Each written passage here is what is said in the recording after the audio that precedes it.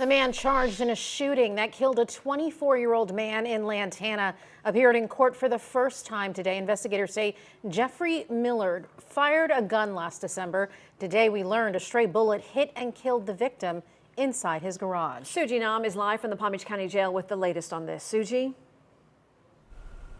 And Jeffrey Millard remains behind bars. He faces multiple charges, including second degree with a firearm, and the judge says no bond. Hold him no bond, at least for the time being, subject to an Arthur hearing on count one. As to counts two and three, I'll set 50000 on each count. 18 year old Jeffrey Millard faces second degree murder with a firearm charge, one count of discharging a firearm from a vehicle, and one count of being a delinquent in possession of a firearm.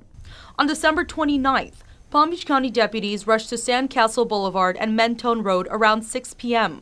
They say two cars were involved in rolling gun battle that killed an innocent 24-year-old man. Officials say he was inside his garage eating when he was shot. The arrest report shows that, quote, the occupants inside the Genesis were recklessly and indiscriminately firing back in the opposite direction approximately 10 seconds later, after the BMW had fled the area eastbound on Mentone. Deputies found cartridge casings inside the Genesis that were consistent with the bullet recovered from the victim. Officials say there were two other men inside the Genesis.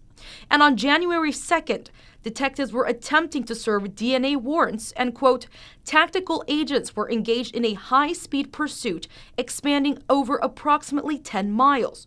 While running to his home, officials say Millard was, quote, holding and discarding what appeared to be a firearm. They say they found a Glock Model 26. The report then goes on to say, quote, firearm examiners scientifically concluded that the projectile recovered from the victim's head was fired from the same firearm that Jeffrey Millard discarded. And we reached out to deputies for an update on those that were inside the BMW as well as the Genesis. And deputies tell me that this is an active investigation and there has been an arrest made. We will continue to keep you updated as we learn more. Reporting live in West Palm Beach tonight, I'm Suji Nam for WPBF 25 News.